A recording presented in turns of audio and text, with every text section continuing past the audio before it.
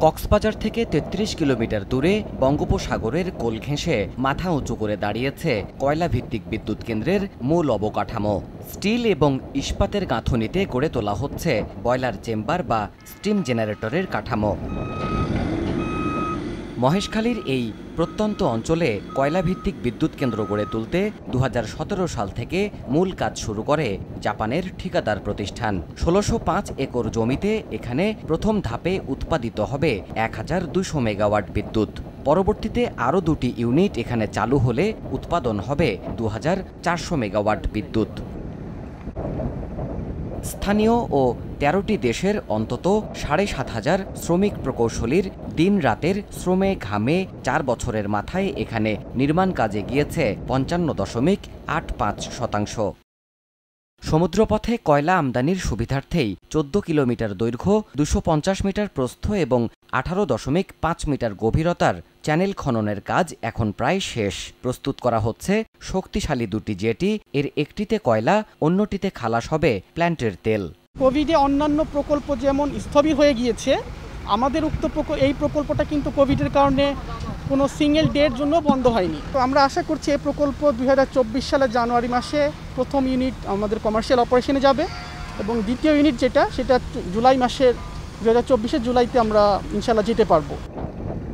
আল্ট্রাসুপার critical প্রযুক্তিতে নির্মাণাধীন এই প্ল্যান্টে কম কয়লা পুড়িয়ে বেশি বিদ্যুৎ উৎপাদন সম্ভব বলে জানাচ্ছেন প্রকৌশলীরা। আমদানি করা কয়লা এখানে পরিবেশসম্মত উপায়ে সংরক্ষণে তৈরি করা হচ্ছে কাভার্ড কোল ইয়ার্ড ও ছাই রাখার স্থান। দূষণ রোধে নাইট্রাস অক্সাইড গ্যাস নিয়ন্ত্রণে অত্যাধুনিক বার্নার ও সালফার ডাই অক্সাইড নিয়ন্ত্রণে ব্যবহৃত হবে ডিসালফারাইজেশন পদ্ধতি। থাকবে দুশো মিটার উঁচু স্ট্যাক বা চিমনিও।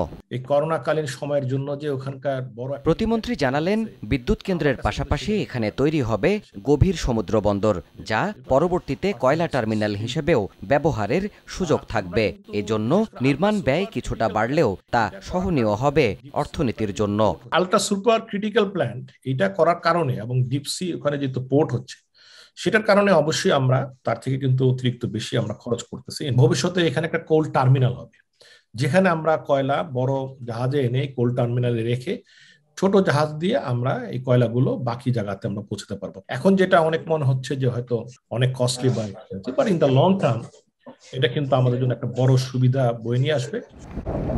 এই প্রকল্পে পরিবেশের ঝুঁকি হ্রাসে সব ব্যবস্থা রাখার পাশাপাশি সেখানকার স্থানীয়দের কারিগরি প্রশিক্ষণের উদ্যোগও নেওয়া হচ্ছে বলে দাবি সরকারের।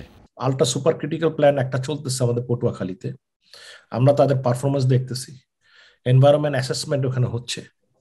সো আমার কাছে মনে হচ্ছে যে ওরা ওরকম হার্মফুল না যেটা আমরা ওয়ার্ল্ড ব্যাংকের স্ট্যান্ডার্ড অনুযায়ী যে বিষয়টা আমাদেরকে মেনটেন করতে হয়। সেটার অনেক নিচে আমরা আছি। দরকার লাগলে সেখানে আমরা ভোকেশনাল ট্রেনিং ইনস্টিটিউট করব। আগামী কয়েক বছরের মধ্যে যেখান থেকে ট্রেনিং করে তাদেরকে অন্য জবে ট্রান্সফার করা যায় কিনা। কারণ ওইখানে অনেকে রিহ্যাবিলেট করতে গিয়ে অনেক মানুষ কিন্তু ওখান থেকে সরে গেছে। অন্য জায়গায় চলে গেছে, অন্য জব নিয়ে।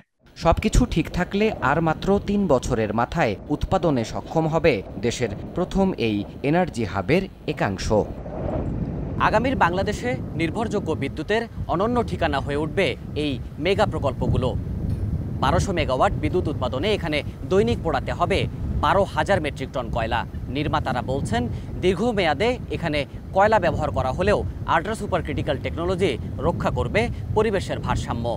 দেবাশিস রায়, সময় সংবাদ, মাতারবাড়ি তাপবিদ্যুৎ কেন্দ্র, মহেশখালী, কক্সবাজার।